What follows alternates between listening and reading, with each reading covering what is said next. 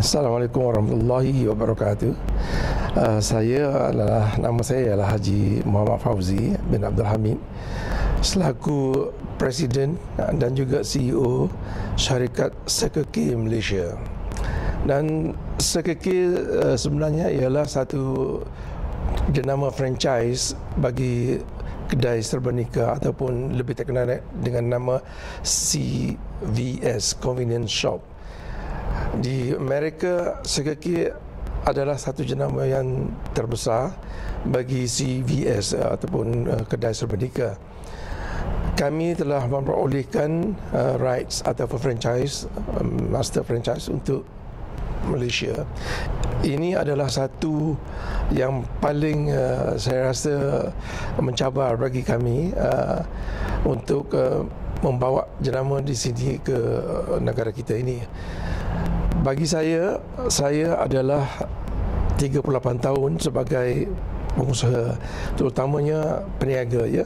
Dan background saya ialah uh, lebih dari 39 tahun di dalam bidang FMCG ataupun retail.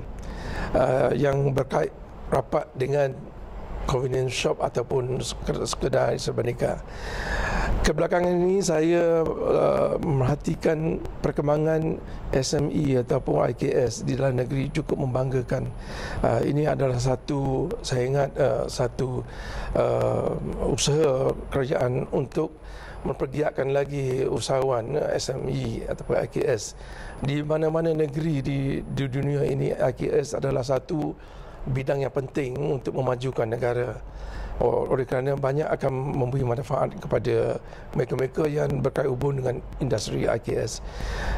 Dan kebelakangan ini kita nampak jelas dengan banyaknya uh, pameran-pameran seperti Maha ni yang banyak pihak IKS dapat mempertunjukkan atau uh, memperniagakan dagangan-dagangan usahanya. Jadi dengan adanya sekeki ini saya cadangkan sekeki walaupun dia jenama antarabangsa tapi model uh, modus operandi bisnes plan dia saya rancangkan supaya lebih sesuai untuk negara Malaysia kita ini. Uh, sekeki sebenarnya akan menjadi satu highway ataupun satu titian yang akan menghubungkan pembekal tu utamanya IKS di antara pembekal dan pengguna. Uh, itu adalah matlamat kita yang pertama. Dan lagi walaupun kita global branding tapi kita adalah uh, specialized di dalam halal compliance produk semua barangan di dalam uh, sekeki adalah halal compliance. Uh, ini adalah penting bagi negara kita terutamanya kerana banyak uh, ditumpukan kepada barangan keluaran halal ya. Dan keduanya kita punya store presentation ataupun penampilan store kita uh, different ataupun perlainan dengan uh, store serba nikah yang ada di dalam pasaran sekarang. Pada ketika ini sekeki di Malaysia hanya 12 bulan atau setahun jagung umurnya dan kami telah pun ada lebih kurang 20 store di merantau uh, Kuala Lumpur Valley ataupun Kelang Valley ya dan kami cadangkan akan berkembang di suburban area ataupun di sekitar bandar-bandar yang terpencil. Kami akan tahun depan akan berhijrah uh, membukakan store di sebelah East Coast dari Tempatan Timur di Kelantan uh, kerana kami tengok di Kelantan uh, earning power dan juga um, populariti convenience store ini cukup menggalakkan ya jadi insyaAllah dalam bulan Januari Sekeki akan berhijrah ke Kelantan. Lagipun Kelantan uh, uh, Rakyat Kelantan sambut baik Oleh kerana logo uh, Sekeki pun mirip-mirip uh, negeri Kelantan ya, Logo K.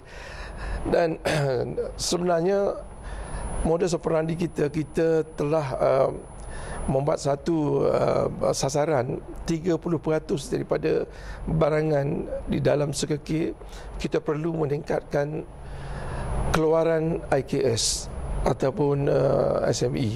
Jadi harap-harap IKS yang berada di dalam Maha kali ini berhubunglah dengan sekeki supaya dapat menampilkan barangan dia di melalui pasaran sekeki.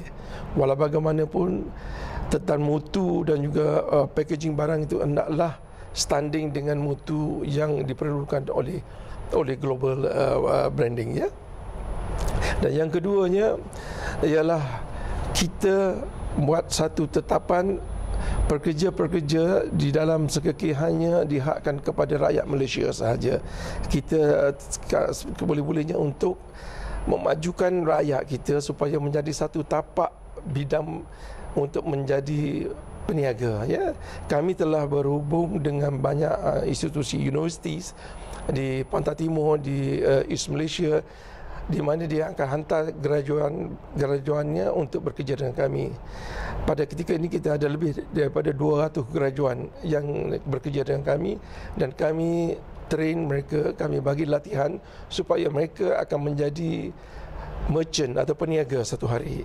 Dan kami ada juga program dengan pihak uh, agensi kerajaan seperti Teraju PNS untuk mengembangkan mereka ini menjadi usahawan sendiri dengan jenama sekeki di tempat rantau di mana mereka mereka pilih. Uh, ini adalah agenda kita yang yang kedua. Yang ketiganya kita segmentize uh, kita punya produk dan pasaran mengikut keperluan daerah jika sekiranya di Kelantan banyak uh, keluaran di Kelantan lebih lebih uh, uh, di digemari maka barangan itu akan ditumpu di dalam uh, kedai uh, sekeki di Kelantan. Ya ini yang kita lebih uh, berlainan dengan kedai sebenika yang lain ya. Dan satu lagi di dalam pengalaman saya untuk menjadi uh, merchant atau retailer yang pentingnya adalah sistem. Eh, yang ini kita tempu tumpukan sepenuhnya. Jika kita ada sistem yang begitu baik kita akan dapat mengawal segala uh, perniagaan kita melalui menerusi sekeki dan sistem sekeki ini telah telah teruji dan uh, telah uh, 60 tahun lebih berada di dalam uh, global pasarannya. So dalam masa setahun ini kita boleh nampak bagaimana kekuatannya sistem yang diperolehi oleh sekeki. Dan yang keduanya um, supply chain. Kita kalau kita nak berdagang kita mesti ada supply chain kita sendiri. Oleh kerana sekeki itu adalah chain uh, link uh, shop. Jadi kita akan dapat manfaat pembelian pukal. Dengan pembelian pukal ni akan dapat lebih lagi uh, tawaran yang lebih baik untuk pembekalan kita. Yang yang ini. Yang ketiganya di dalam chain uh, franchise system pemasaran adalah diserentak dengan dengan di, dikawal oleh uh, uh, franchise holder. Jadi kita akan dapat maintain standard pemasaran kita, corak pemasaran kita dan segala uh, data-data itu adalah perlu untuk kita bagi kita menjalankan marketing analisis dan, dan sebagainya ya.